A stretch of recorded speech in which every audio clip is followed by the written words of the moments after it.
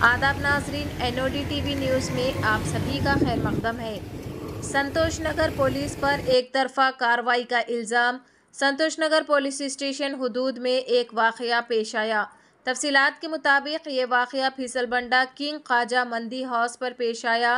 रात के वक्त भूख लगने पर कुछ दोस्तों ने मिलकर खाना खाने के लिए वहाँ गए हुए थे कि वहाँ के वॉचमैन पर कीचड़ उछलने सी मामूली बात को लेकर हुआ होटल वालों और कस्टमर के बीच बड़ा झगड़ा। होटल वालों ने किया चाकुओं से वार। इस झगड़े में होटल वाले और कस्टमर शदीद जख्मी हुए। मीडिया से बात करते हुए लड़के की वालदा ने कहा कि लड़कों पर ज़्यादा दफात और होटल वालों पर कम दफात लगाकर उन्हें जेल भेजा जा रहा है और होटल वालों को घर भेज दिया गया। आइए सुनते हैं इस खसूस में मज़ीद तफसीलात उन्हीं की ज़बानी।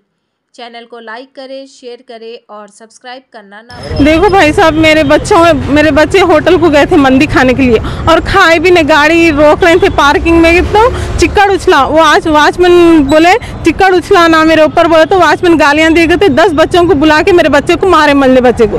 फिर मल्ला बच्चा क्या करा, बड़े बच्चे को बुलाया, शहबाज भाई मेरे को मारे जरा आओ तो और पंद्रह बीस बच्चों को जमा करके मेरे बड़े बच्चे को भी मारे मार मार के खूना खून कर दिए मेरे मंदे बच्चे को पेट पे मारे चाकू से।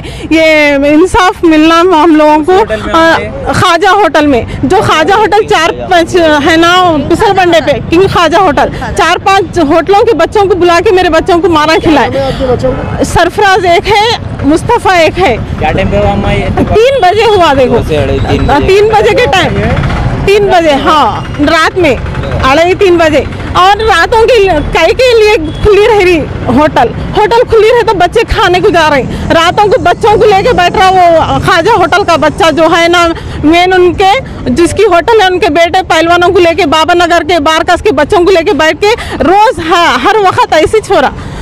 हर वक्त बच्चों को मार रही कर रही। ये मेरे बच्चों पे जो केस बुक हो रहा ना उनके भी वो केस बुक होना हम उनके बच्चों पे भी। हमारे बच्चों को मारे। मेरे बच्चों को अगर कुछ भी होता तो मेरे बच्चों को कुछ भी होता तो कैसा होता था? बस मैं मेरे बच्चे पढ़ रहे मेरे बच्चे। बड़ा बच्चा बच्चे होशियार थे जाके आते मम्मी खाना खाने बोल के गए। घर में जरा वो था तो सालन अच्छा नहीं है हम खा के आते बोल के गए बच्चे। खा, खा के तीन बज रहे थे अढ़ाई तीन बज रहे थे। रातों को किस लिए खुली रहती होटल बस? हमको ये चाहिए। बंद करा देना पुलिस वालों का काम है ये। होटल बंद कराना हर चीज़ का देखभाल करना पुलिस वालों का है। हाँ करे हम कंप्लेन ये संतोष नगर पुलिस स्टेशन और चार छह बच्चे हमारे घर पे आए थे तीन बजे रात को। मैं होशियार हो गई थी गड़बड़ हो रही तो। छह बच्चे आए आके बोल रहे बनेन उतार के मैं कौन हूँ? मालूम हमारे देवर को मार के गए और गेट को दरवा गेट को पैर से लाश से मार के बोल रहे ये घर है बाद में आएँगे हम लोग कहते क्या करते बाद में आके? होटलों पे छे ना नाश होटलों पे छे ना उनका नाश हुएगा एक दिन होटलों का। हाल कुछ भी कुछ कुछ भी नहीं बोल रहे पुलिस। फिर हमारे देवर वहाँ घर के पास पुलिस को बुलाए हमारे मेरे को मारने आई यहाँ पर और बोलो उन वहाँ से लेके गए। एक तरफा कार्रवाई हो रही।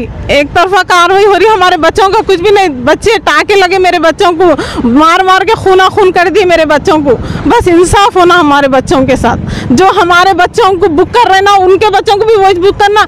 आए भी चले गए भी बच्चे वो पुलिस स्टेशन में से। मेरे बच्चे बैठे हुए हैं पुलिस स्टेशन में भूखे प्यासे। मेरे हमारे अच्छे है। मेरी बहन को हार्ड है। बस होटलों में बंद रहना।